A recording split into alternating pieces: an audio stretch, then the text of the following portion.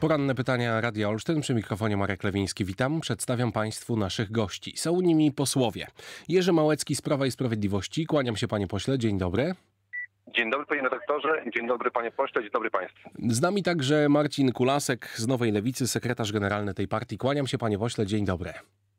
Dzień dobry panie redaktorze, witam serdecznie państwa, pozdrawiam posła Małeckiego. To w takim razie y, zerkamy do najnowszego sondażu IBRIS. Gdyby teraz odbyły się wybory parlamentarne, na czele stawki znalazłoby się Prawo i Sprawiedliwość z wynikiem 35%. To jest wzrost o 2 punkty procentowe względem ostatniego badania, a od przedostatniego 4%, 4 y, punkty procentowe, przepraszam.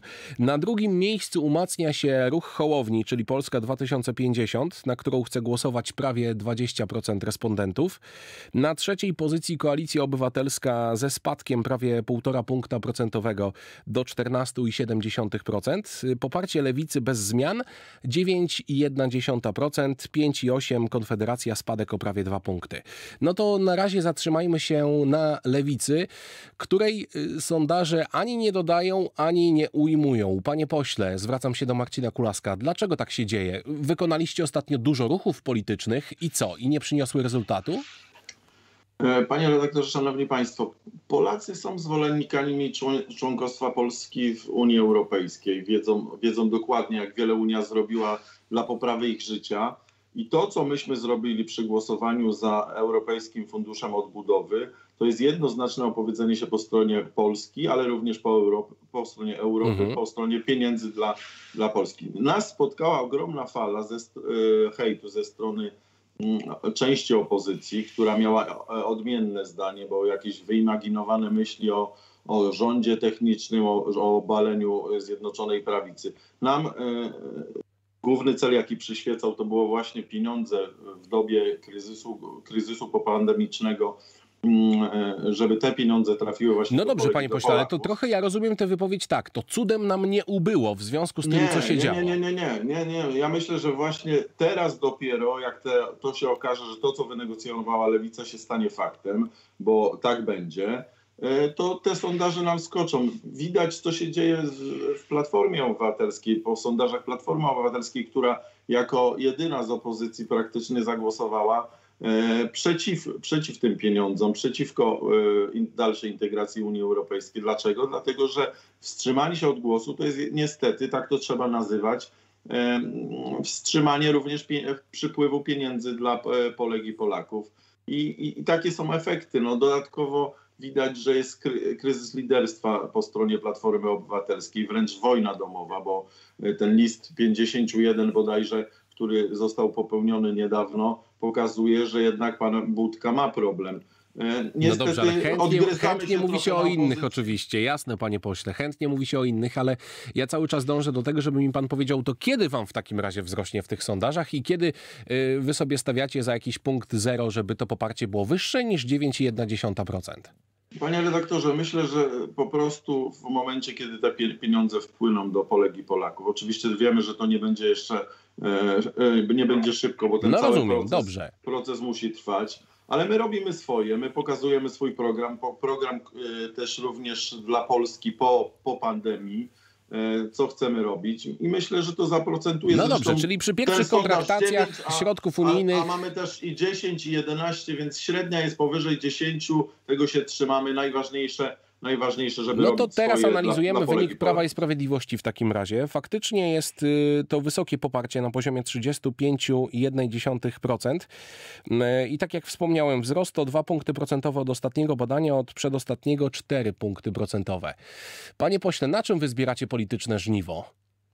Ja bym tylko się odniósł jednym zdaniem mhm. do jednego stwierdzenia pana posła Kulaska, który mówił o tym, że Platforma wstrzymała się. Wstrzymanie się, to przypomnę i podkreślę, że to jest głosowanie przeciw tak. środkom dla Polaków. I to trzeba podkreślać, bo to nie jest tak, że wstrzymanie się, czyli umycie, umycie rąk i zobaczymy, Cała jak to dalej pójdzie. No tak, no ale z drugiej strony jest taka opcja na głosowanie w Sejmie. Mamy głos za, mamy głos przeciw i mamy głos wstrzymujący się. To może należałoby ale w takim razie zrezygnować z tej trzeciej opcji. Nie, Szanowni Państwo, Panie Dyrektorze, Panie Pośle, czasami są takie głosowania, że nie ma czegoś takiego, że moneta stanie nie wiem, na kancie, tylko Mhm. na rancie i tak dalej. Dostał albo 0, albo 1 na tej zasadzie. Platforma niestety źle wybrała. Ale to wracając do sondaży, które dają nam e, dosyć dużą przewagę, ja chciałem podkreślić na samym początku, że prawdziwym sondażem to będą wybory. W tej chwili my ani e, nie podniecamy się tym dobrymi wynikami. Oczywiście nas to cieszy, że Polacy zauważają, że jesteśmy konsekwentni. E, Chciałbym też zauważyć, że e, zauważają to już od dobrych sześciu lat, ponieważ dali nam ko- kolejny mandat do rządzenia. W tej chwili, jeżeli tak dalej będzie, będziemy rządzili, a wydaje się, że nasze rządy idą w dobrym kierunku, będziemy rządzili kolejną kadencję. Mam taką nadzieję. Jeżeli chodzi o mm, e, głosowanie, które według mnie przełożyło się na wynik tych sondaży, to my dostaliśmy taki bonus właśnie, że jesteśmy konsekwentni od samego początku. Oczywiście na początku negocjowaliśmy te bardzo duże środki e, dla, dla Polski. Negocjował pan premier Mateusz Morawiecki. E, I będąc konsekwentni do samego końca, ten bonus otrzymaliśmy. Dobrze, panowie, chciałbym, żebyśmy krótko dotknęli jeszcze dwóch kolejnych tematów przy okazji porannych pytań Radia Olsztyn. Czytam e, takie doniesienie prasowe. Prezydent Olsztyna Piotr Grzymowicz poinformował, że miasto nie poniesie żadnych kosztów zorganizowania kampusu Polska Przyszłości, czyli wydarzenia, które z inicjatywy Rafała Trzaskowskiego ma się odbyć na przełomie sierpnia i września w miasteczku akademickim Kortowo, czyli oczywiście w Olsztynie. E, Prawo i Sprawiedliwość niejako aranżuje dyskusję w tym temacie, oczywiście ustami Jerzego Szmita, waszego prezesa w okręgu olsztyńskim. Y, Czy tu powinno się odbyć w ogóle, mm, e, czy to powinno odbyć się w ogóle na terenie kampusu uniwersyteckiego? Takie wydarzenie quasi polityczne. Panie pośle, zwracam się do Jerzego Małeckiego. Czy pan uważa, że to jest ok? Czy ja uważam w ten sposób, że studenci są dorosłymi ludźmi i także polityka jest obecna także na uniwersytetach. Jeżeli rozmawiamy o sprawach ogólnych, tutaj ponoć pan, e, pan, pan prezydent Trzaskowski, który nie radzi sobie z rządzeniem w Warszawie, nagle sobie pomyślał, że zarządzi, porządzi sobie w Olsztynie. Ja uważam, że faktycznie wspólne tematy mogą sobie znaleźć pan Krzymowicz oraz pan Trzaskowski, czyli e, radykalne i horrendalne podwyżki za śmieci, więc, więc myślę, że miejsce już ma mniejsze znaczenie. Ja tylko chciałbym zauważyć jedną rzecz, że brak symetrii. My kiedyś prosiliśmy o to, żeby na, na uniwersytecie spotkać się z premierem, z premierem Jarosławem Kaczyńskim. Nie otrzymaliśmy takiej zgody, a w tej chwili przyjeżdża prezydent e, Warszawy i robi polityczne spotkanie. Ja nie do końca wiem, co znaczy ten kampus Polska, prawda? Bo to czytałem tam troszeczkę o tym, że to ma być skierowane do ludzi młodych. No, No tak, ale ja rozumiem. sam z kolei byłem na przykład na spotkaniu z Haliną Szymańską z kancelarii prezydenta na przykład, które odbyło się to spotkanie właśnie na Uniwersytecie Warmińsko-Mazurskim w Olsztynie. Nie przypominam sobie, żeby tutaj były jakieś kłopoty z organizacją tego wydarzenia. Panie redaktorze, to pan był chyba na jednym z nielicznych e, wydarzeń, które były organizowane z naszej strony. E, Ja tylko chciałem zaznaczyć, że już my próbowaliśmy swego czasu inne spotkania, gdzie nie dostaliśmy zgody i uważam, że udzielenie zgody dla prezydenta Trzaskowskiego uważam, było błędem, e, było błędem uczelni. Okej, i to jest jasna deklaracja, to jest opinia posła Jerzego Małeckiego. To w takim razie pytam o to samo posła Kulaska. Panie pośle, y, czy to wydarzenie powinno się odbyć na uniwersytecie? Panie redaktorze, szanowni państwo, działania pana Rafała Trzaskowskiego są wprost obliczone na budowę nowego projektu politycznego i tak naprawdę to jest projekt wrogi wobec Platformy Obywatelskiej. Nie wiadomo tylko, czy Trzaskowskiemu wystarczy konsekwencji, aby y, doprowadzić projekt do końca. Może się skończyć na tych tak zwanych wakacyjnych dyskusjach przy piwie, które same w sobie są oczywiście przyjemne. Na pewno jednak Szczególnie ze względu na to drugie oczywiście.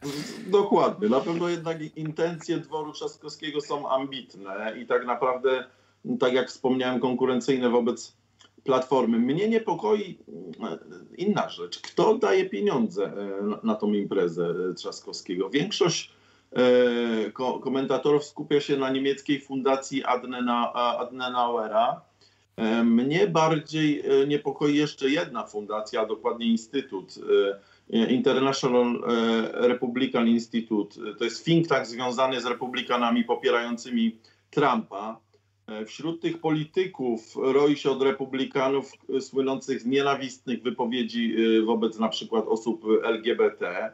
I pytanie jest zasadnicze jedno.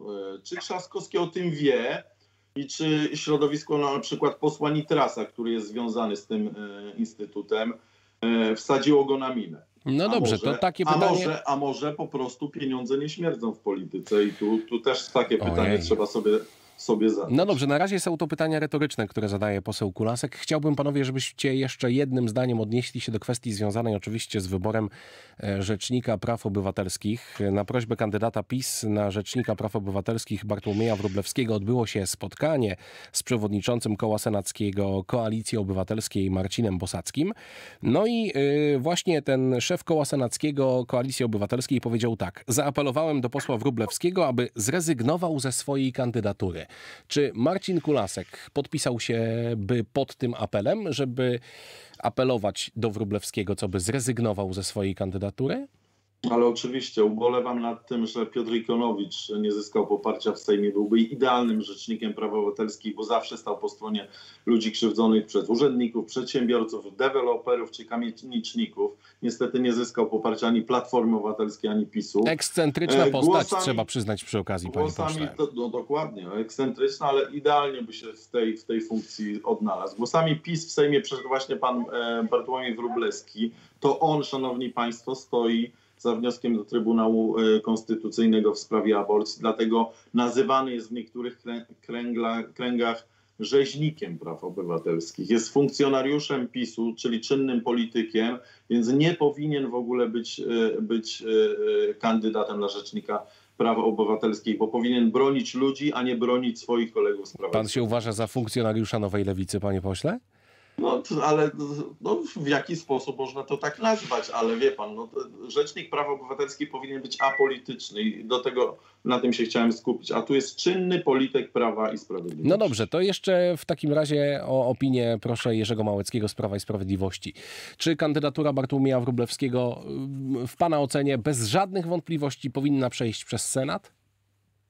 Panie pośle, chciałem tylko zwrócić uwagę, że taki nieładny ten epitet, którego pan użył w stosunku do Bartka Wróblewskiego, znam go osobiście, uważam, że jest osobą, która się bardzo dobrze nadaje na Urząd Rzecznika Praw Jedno zdanie, panie pośle, proszę. E, uważam, że tak, powinien przejść głosami e, senackimi i będzie dobrym Rzecznikiem Praw dla Polski. Senatorowie Lewicy na pewno No dobrze, e, to mamy dwie bardzo jasne deklaracje. Poseł Jerzy Małecki z Prawa i Sprawiedliwości był gościem porannych pytań Radia Olsztyn, gdzieś z trasy na wschodzie naszego województwa. Kłaniam się, panie pośle, dziękuję.